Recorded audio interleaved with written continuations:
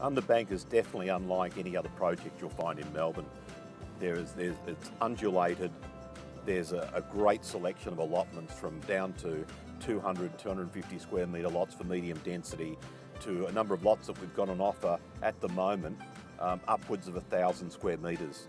Now, lots up, uh, up, lots of around 1,000 square metres are pretty much unheard of in most residential developments today. And obviously, as you can imagine, they're highly sought after.